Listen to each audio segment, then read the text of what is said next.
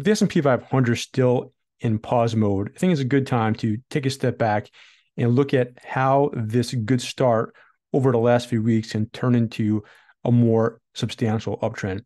And one of the things we always look at are the seven steps needed to turn a downtrend into an uptrend. And so, number one, we know that's just simply hold that support or establish support in a market that's in a free for all market. And so, recently, of course, October 27th was a low point, held there. And then the upside follow through was huge. As we know, five 1% advances over the next 12 days. We saw a pause right under 4,400 that was able to form the higher low, a bullish pattern as well, and the breakout. Now, we still haven't achieved the first upside target, but once we do, we want to see, of course, this happen again. It's a lot of times before you can achieve an upside target of one bullish pattern, others then get formed. And this really is what's had occurred over the last few weeks, where we just talked about this is October 27th. This is obviously the strong follow through, the pause, the breakout, and this target's 46.75. Still not there yet, but of course, getting closer. Now, along the way, one of the pauses, we could frame this as a bullish flag pattern, as we did, and that has a target up near 4,700.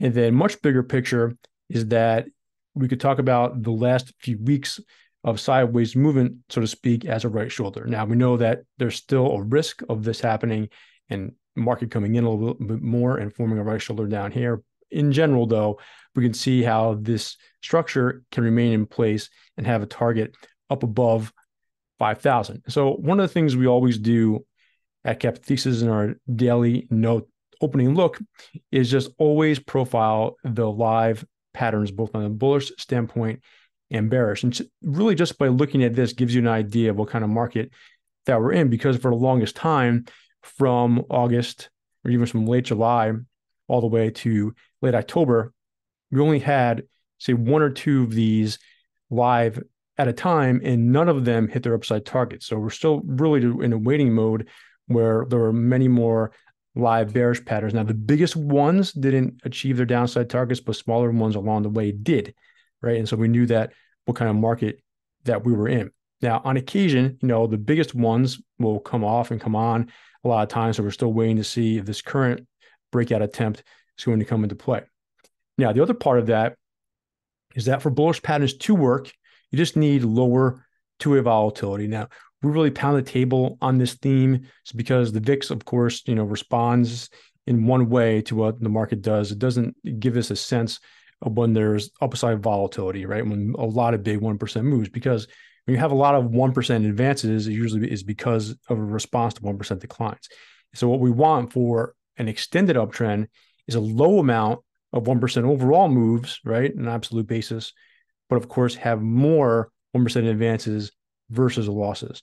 And all of that then leads to successful bullish patterns, with the premise being that once you get a breakout, there are fewer chances of whipsaws to have that those breakout points violated, right? And that's why it's important to see really like a boring tape after a while, right? And so, you know, we look at this, of course, just from this table, and again, very easy to see, but extremely helpful at the same time, where we take this big picture view and we see that so far we've had 63 1% moves this year, which is just about half of what we had all of last year, right? And so again, there were some instances here where we got uh, more than than usual, especially at the beginning of the year, but really has dropped off since then on an overall basis.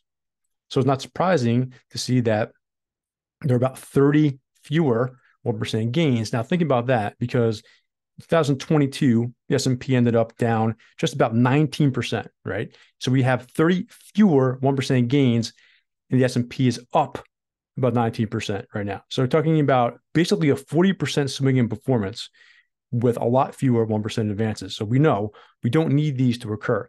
Right. It was fun to see all of this occur at the beginning of this move like this, but explosive action typically leads to a boring tape if in fact that's going to then extend to a longer term uptrend.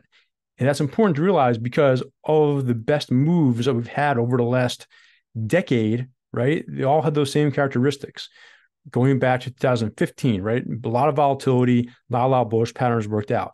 That changed after the low in February 2016, which extended all the way through 2018, right, or the beginning of 2018 before the vol implosion. And really, we had, you know, back and forth, ultimately lower year 2018. But again, things changed as 1% advances started to decline again, and, and also 1% declines, of course, was led to good bullish patterns, successful bullish patterns. We know what happened in COVID, but after that, same type of thing. Still had explosive movement on the way up, but eventually that gave way to consistent advance. And of course, all that changed in 2022. So we can see how all this plays out. And again, we don't we shouldn't worry about the day-to-day action as much, but it's important to keep track of because we can get a sense of how this is trending and what should happen right after a huge start to this move. If this is going to to end up extending in 2024, you want to see more of what's happened over the last few weeks, where kind of a boring tape, which allows more breakouts to work and a more consistent uptrend. That's it for today. Don't forget to check out these videos and subscribe. I'll talk to you next time. Thank you.